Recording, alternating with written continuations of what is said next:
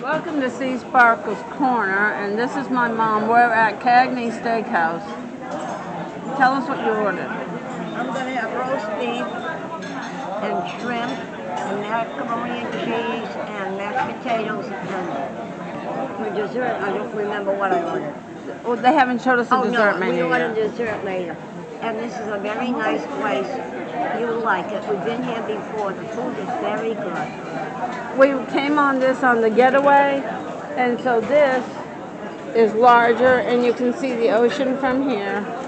And this is larger. And hi, everybody.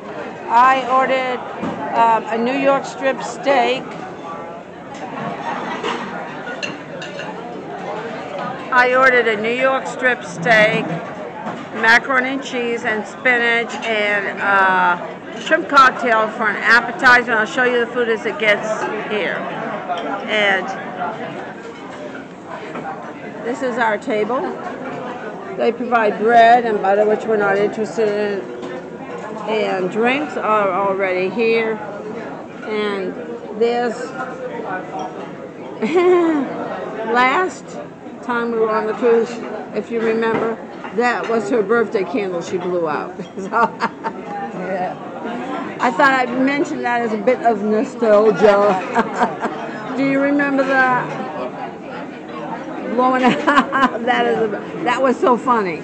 Okay, and this is part one of our dining with Cagney Steakhouse. And as always, the fun never ends in Sea Sparkles Corner. Stay tuned for more.